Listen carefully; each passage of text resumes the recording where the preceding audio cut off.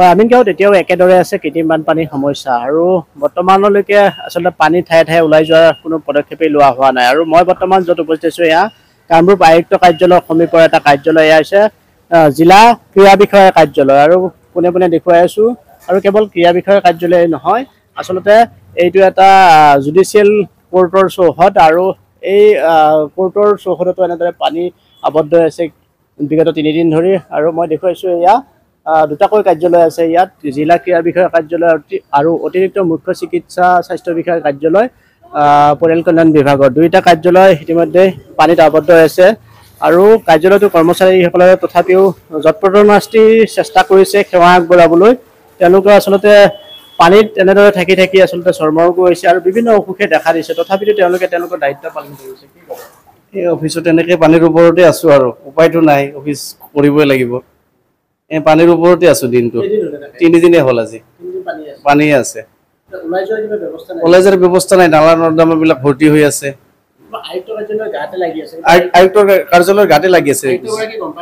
আয়ুক্তগৰাকী নিশ্চয় গম পাইছে কিন্তু এতিয়ালৈকে অহা নাই ইন- ইনস্পেকশ্যনত। হয় আচলতে এই কাৰ্যালয়টো মই পোনে পোনে এবাৰ দেখাবলৈ অনুৰোধ জনাম এয়া ডিষ্ট্ৰিক্ট স্পৰ্টছ অফিচাৰৰ কাৰ্যালয় জিলা ক্ৰীড়া বিষয়াৰ কাৰ্যালয়। আৰু কাৰ্যালয়টো অকণমান ভিতৰলৈ দেখাবলৈ জনাম।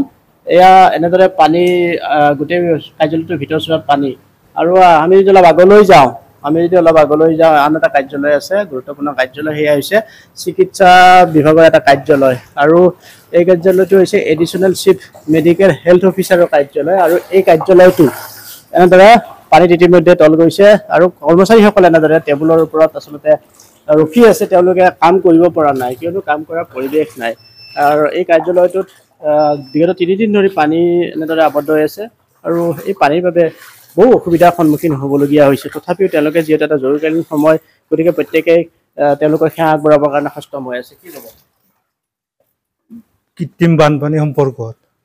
এইটো প্ৰাকৃতিক নিয়ম হয়তো বৰষুণ দিয়াৰ কাৰণে হৈছে কোনফালেদি আহিছে আমিও ঠিক গম পোৱা নাই। আমি নতুনকৈ আহিছোঁ। আমি আচলতে গুৱাহাটী ক্লাবত আছিলোঁতো।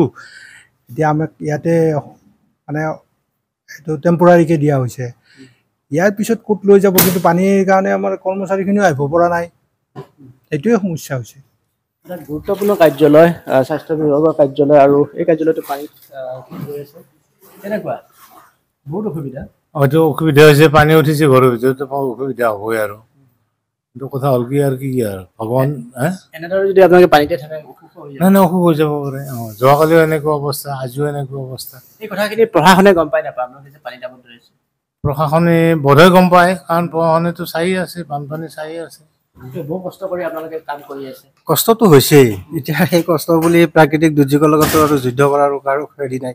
গতিকে যিখিনি হৈছে সেইখিনি ভুগিব লাগিব কাৰণে আজি তিনিদিনেৰে আমি এনেকেই আঁঠুৰ ওপৰত পেন কোচাই পেলাই ডিউটি কৰি আছোঁ। আৰু গোটেইখিনি কৰ্মচাৰী সেনেকৈ আহিবও মানে পৰা নাই যিহেতু সন্মুখৰ গেটৰ মুখৰ পৰাই পানী আঁঠুৰ ওপৰলৈকে। গতিকে যথেষ্টখিনি কষ্টত ডিউটি কৰি আছোঁ।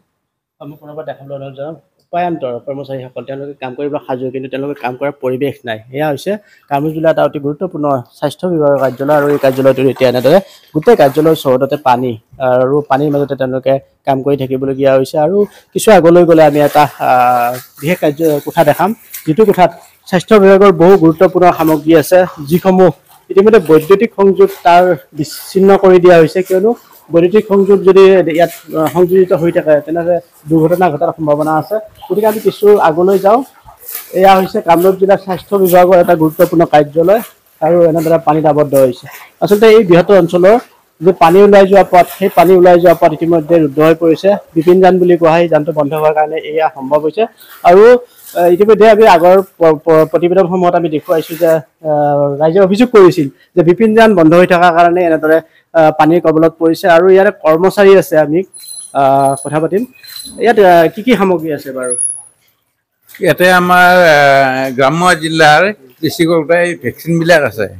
আৰু ফ্ৰিজবিলাক গোটেই এনে এনেকুৱা পানী হৈছে মানে লাইনবিলাক চব বন্ধ কৰা হৈ গৈছে কাটি দিয়া হৈছে। কাটি কল বক্স আমাৰ আছে তাতে আইচ পেক সোমাই পেলাই ভেকচিনবিলাক তাত ৰখা হৈছে। হয় আচলতে গোটেই সংযোগ বিচ্ছিন্ন কৰি দিয়া বুলি কোৱা হৈছে ইয়াত যিহেতু ইয়াত বৈদ্যুতিক সংযোগ থাকিলে যিকোনো দুৰ্ঘটনা হ'ব পাৰে। গতিকে এনেকুৱা ধৰণৰ এটা পৰিৱেশ এতিয়া আমিনগাঁৱত দেখা গৈছে। আমিনগাঁৱৰ কেইবাটাও কাৰ্যালয় এতিয়া পানীত বুৰ গৈ আছে আৰু আচলতে কামৰূপ আয়ুক্ত কাৰ্যালয়ৰ গাতে। গতিকে প্ৰশাসনে এটা বিশেষ ব্যৱস্থা ল'ব বুলি আশা কৰা হৈছে কিন্তু এই মুহূৰ্তলৈ কৰা হোৱা নাই আৰু অতি শীঘ্ৰে ইয়াৰ পৰা এটা ব্যৱস্থা ল'ব লাগে যিহেতু বানপীড়িত অঞ্চলক লোকসকলক এতিয়া স্বাস্থ্য সেৱা যোগান ধৰিব লাগিব। গতিকে এই সামগ্ৰীসমূহ যদি নষ্ট হৈ যায় বা এই সামগ্ৰীসমূহ যদি গন্তব্যস্থান পোৱাব নোৱাৰে সময়মতে তেতিয়াহ'লে সৰ্বসাধাৰণৰ অতি দুখ কষ্ট হ'ব। গতিকে এই মুহূৰ্তত সকলোৱে আশাৰে বাট চাইছে যে ইয়াৰ এটা খৰতকীয়া ব্যৱস্থাৰ দ্বাৰা পানীটো ওলাই দিয়াৰ ব্যৱস্থা কৰিব লাগে।